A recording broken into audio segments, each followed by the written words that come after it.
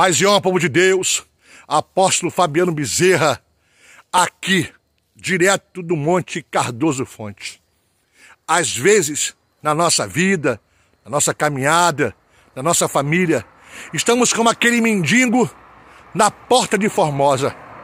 Estamos na porta, mas não temos força para entrar, aguardando e sempre mendigando alguma coisa para o dia, como se fosse sempre buscando algo para uma necessidade diária, mas sempre no caminho daquele que pede, ainda que na porta, vai encontrar aquele que não tem ouro e que não tem prata, mas o que tem é muito mais importante que é poder de Deus e que vai dizer para você: levanta e anda.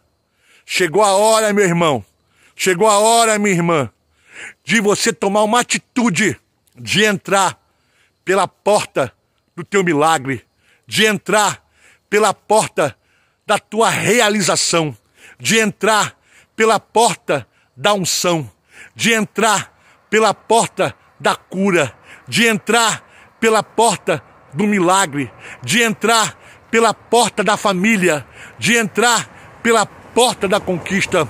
Então hoje eu tomo esse ato, assim como Pedro fez na porta de Formosa e digo para você: não tenho ouro e não tenho prata, mas te digo: levanta e anda, levanta e anda, porque eu tenho certeza que a boa mão de Deus, que o favor de Deus e a graça do Senhor, ela vai te alcançar e vai mudar a tua história. E você vai poder contar que você recebeu uma palavra que deu aceleração para você caminhar e conquistar tudo que tem para conquistar. Pai, eu oro por essa vida que agora me escuta. Derrama dessa bênção. Dá estrutura, dá renovo, dá graça, dá bênção.